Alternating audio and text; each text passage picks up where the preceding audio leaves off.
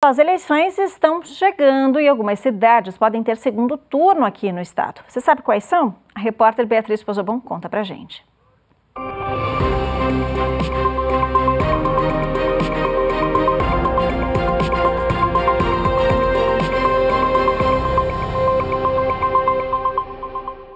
O primeiro turno das eleições municipais de 2024 está marcado para o dia 6 de outubro. Já o segundo turno, caso necessário, será no dia 27 do mesmo mês, nos municípios com mais de 200 mil eleitores. Com mais de 222 mil pessoas aptas a votar, São José dos Pinhais pode ter segundo turno em eleições municipais pela primeira vez na história. No último pleito para prefeito, em 2020, eram 197 mil eleitores.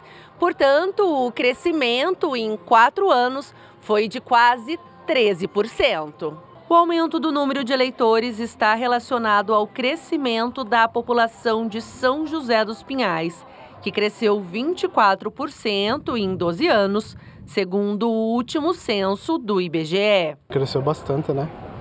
Até essa rua 15 aqui era bem menos movimento, hoje em dia é bem movimentada, né? A população de São José está aumentando cada vez mais. Além de São José dos Pinhais, Foz do Iguaçu também pode ter segundo turno em eleições municipais pela primeira vez.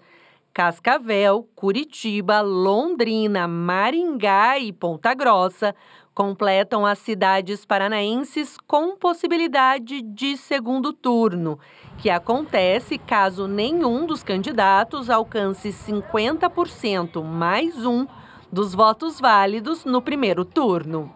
Para os votos válidos, nós consideramos aqueles que são direcionados a candidatos, partidos ou federações. Os votos em branco e nulos não são considerados para nenhum fim, ou seja, numa eleição majoritária, que é para prefeito, tendo votado para um candidato, esse voto é válido. Na eleição proporcional, que são vereadores, tendo votado para o candidato, para a candidata, ou numa legenda, né, um número ali de partido ou de federação, é considerado um voto válido. Então, voto válido, votos válidos nós chamamos aqueles que são destinados a candidatos e partidos, coligações, e não são considerados votos brancos ou nulos. Quando houver segundo turno, mesmo que o eleitor não tenha votado no primeiro, ele pode e deve participar da decisão final para a escolha do prefeito de sua cidade. Caso não possa votar em algum dos turnos, ela deve justificar sua ausência às eleições.